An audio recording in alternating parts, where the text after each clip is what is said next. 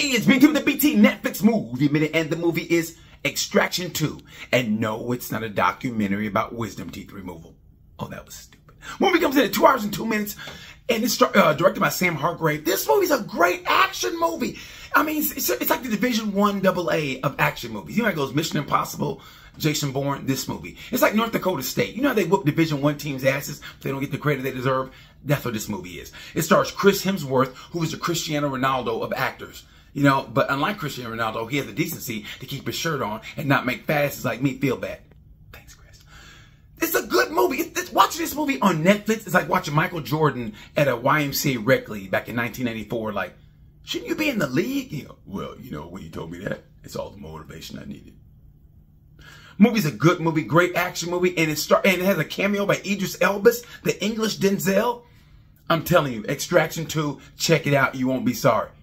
Peace.